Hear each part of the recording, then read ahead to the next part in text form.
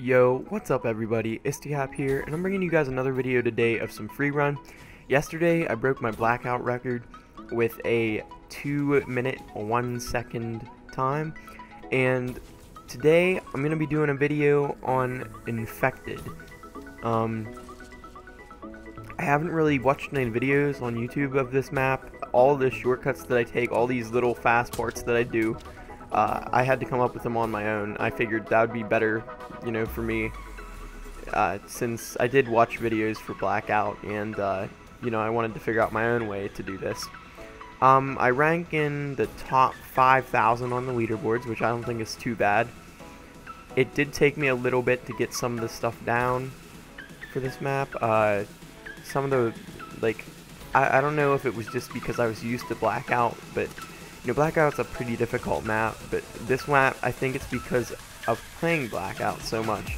I just, I, I was so used to Blackout and so used to doing all that stuff that this map kind of was difficult for me to, you know, get stuff down. But, um, yeah, I did get a pretty decent time. Uh, my time for this map was 2 minutes and 33 seconds.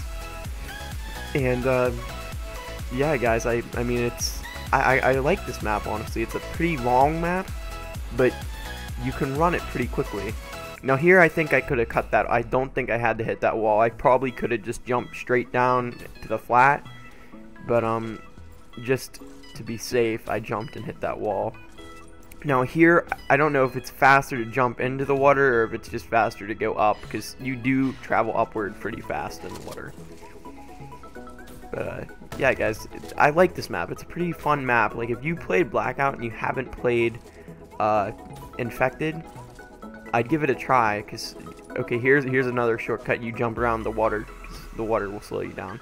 And look, I'm 17 seconds ahead of my best time on this map, which I had set before this one. So I, I was just scoping out the map. But uh, yeah, guys, it's uh, if you have played Blackout and you've only played, you know, just a few of the free run maps, I really recommend playing Infected because it's a really decent map and I had fun playing this map. Like it's not, I guess it's not super difficult, but it's you know it's really it's a, it's a fun map. Right, right here you can run sideways on the walls, and it, I think it speeds up your time maybe a little bit, but I'm not I'm not positive. But yeah, guys, uh, I got a time at 2:33, so I mean I think that's I mean 2 minutes and 33 seconds. I think it's a pretty good time, and I hope you guys enjoyed the video. Peace out.